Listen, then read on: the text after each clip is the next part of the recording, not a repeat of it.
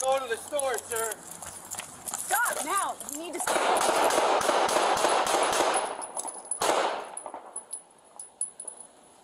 Bravo 8, shots fired.